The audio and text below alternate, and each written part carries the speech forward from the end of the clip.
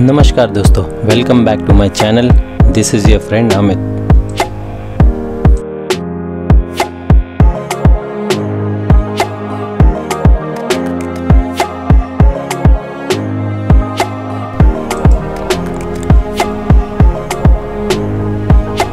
आज मैं आपको नवी मुंबई इंटरनेशनल एयरपोर्ट दिखाने वाला हूँ और शेयर करूँगा यहाँ की काफ़ी सारी डिटेल्स। दोस्तों, काफ़ी दिनों के बाद मैं इस चैनल पर ये वीडियो अपलोड कर रहा हूँ, लेकिन मैं आगे आपको रेगुलर अपडेट देता रहूँगा।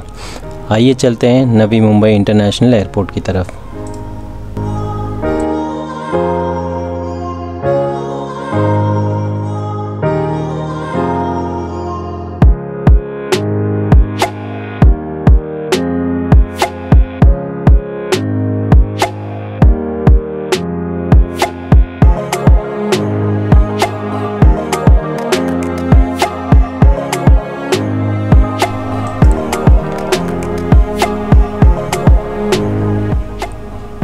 ये जो टोटल एरिया है वो 2260 हेक्टर्स का है और जो एक्चुअल एयरपोर्ट बनाया जाएगा वो 1160 हेक्टर्स के एरिया में बनाया जाएगा।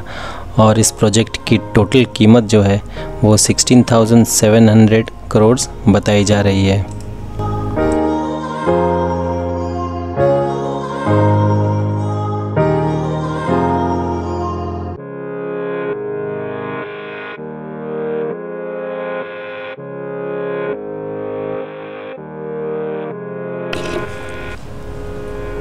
नवी मुंबई इंटरनेशनल एयरपोर्ट को बनाने का काम अडानी ग्रुप कर रही है और इस एयरपोर्ट का प्रपोज डिज़ाइन 11 जून 2021 में दिया गया था।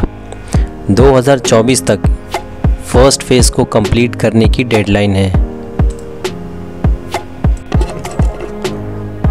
इस एयरपोर्ट का नाम 16 जुलाई 2022 को महाराष्ट्र चीफ मिनिस्टर द्वारा क्लियर कर दिया गया था। और इस एयरपोर्ट का नाम डीबी पाटिल इंटरनेशनल एयरपोर्ट रखा गया है।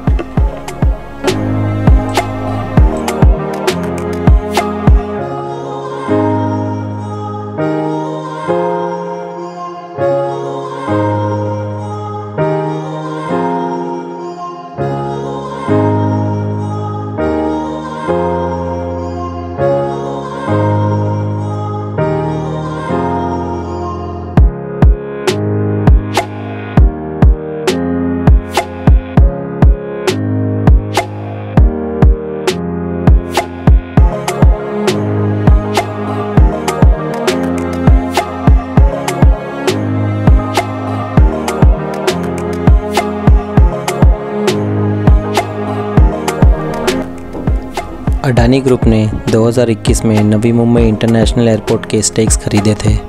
जून 2022 सिडको ने 2860 एकर्स ऑफ़ लैंड हैंडओवर किया है अडानी ग्रुप को कंस्ट्रक्शन वर्क चालू करने के लिए। अडानी ग्रुप ने ऑलरेडी यहाँ कंस्ट्रक्शन वर्क चालू कर दिया है और टर्मिनल और रनवे का काम स्टार्ट कर दिया है। और अब ये देखना है, क्या डेडलाइन तक ये काम ख़त्म कर पाएँगे?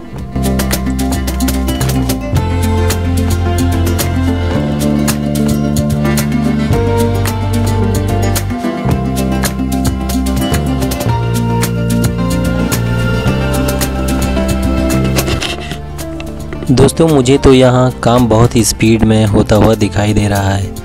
आज से छः महीने पहले यहाँ इतना कुछ काम नहीं हुआ था और अब यहाँ पूरी पिक्चर ही बदल गई है। शायद आप कैमरे में ठीक से देख पा रहे हो बट मैंने यहाँ बहुत चेंजेस देखे हैं।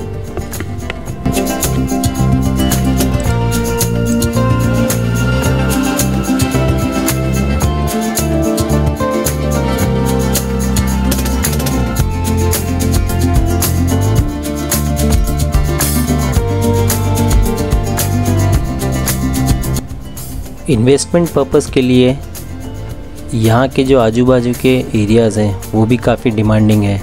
जैसे कि उल्वे द्रोनागिरी करंजाड़े पनवेल ये सब एरिया काफ़ी जल्दी ग्रो करने वाले हैं। तो आप अगर इन्वेस्टमेंट के पर्पज़ से कुछ देख रहे हैं तो आप यहाँ ज़रूर विज़िट कर सकते हैं।